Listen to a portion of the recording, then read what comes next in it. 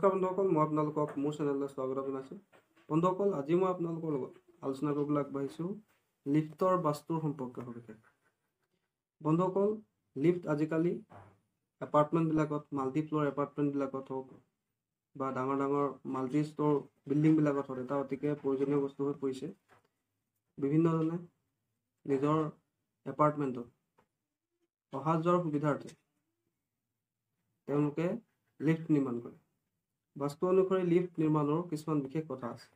বন্ধুসকল সাধাৰণতে লিফ্টে আমাক সহায় কৰে এটা ফ্ল'ৰৰ পৰা আন এটা ফ্ল'ৰলৈ আমি সহজে যাব পৰা সুবিধাটো প্ৰদান কৰে।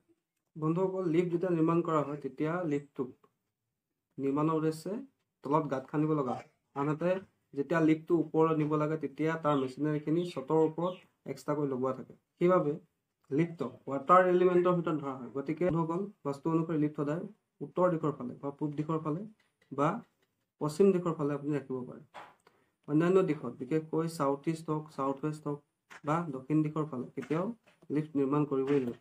তাৰোপৰি বন্ধুসকল লিফ্টে এটা এটা ফ্ল'ৰ এণ্ট্ৰেঞ্চৰ হিচাপেও কাম কৰে গতিকে লিফ্টটো নিৰ্মাণ কৰাৰ আগত লিফ্টটো কোনটো পদত পৰিছে সেইটো ভালদৰে চাই লোৱা উচিত। যিহেতু যদি আপোনাৰ কোনোবা এটা ফ্লেটত থাকে তেন্তে আপোনাৰ এপাৰ্টমেণ্টটো গৈ যিটো দুৱাৰেদি আপুনি প্ৰৱেশ কৰিব সেইটোৱে আপোনাৰ মেইন এণ্ট্ৰেঞ্চ হ'ব সেইটো হিচাপত আপোনাৰ লিফ্টেও আপোনাৰ মেইন ডোৰৰ সমানে কাম কৰিব।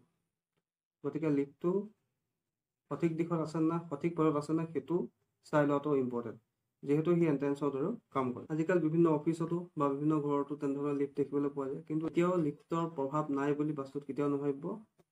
লিফ্টৰো এটা বিশেষ প্ৰভাৱ বাস্তুত দেখিবলৈ পোৱা যায়।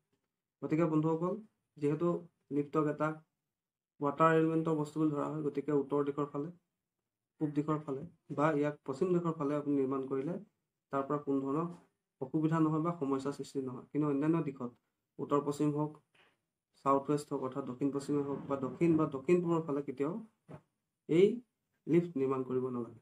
বন্ধুসকল আশা কৰিছোঁ আজি আপোনালোকে ভালকৈ গম পালে যে লিফ্ট আচলতে কোন দিশত নিৰ্মাণ কৰিব লাগে। বন্ধুসকল আশা কৰিছোঁ আপোনালোকৰ ভিডিঅ'টো ভাল লাগিল। যদি ভাল লাগিল ভিডিঅ'টো লাইক কৰি দিব কমেণ্ট কৰিব আৰু মোৰ চেনেলটো ছাবস্ক্ৰাইব কৰিব ধন্যবাদ।